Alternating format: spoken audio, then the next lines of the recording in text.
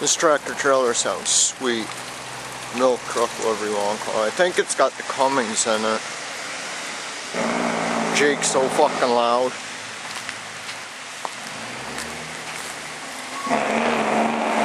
See? Loud, loud ass Jake. It's either this one or the other one that's got a Cummins, but I think one of them does. Really is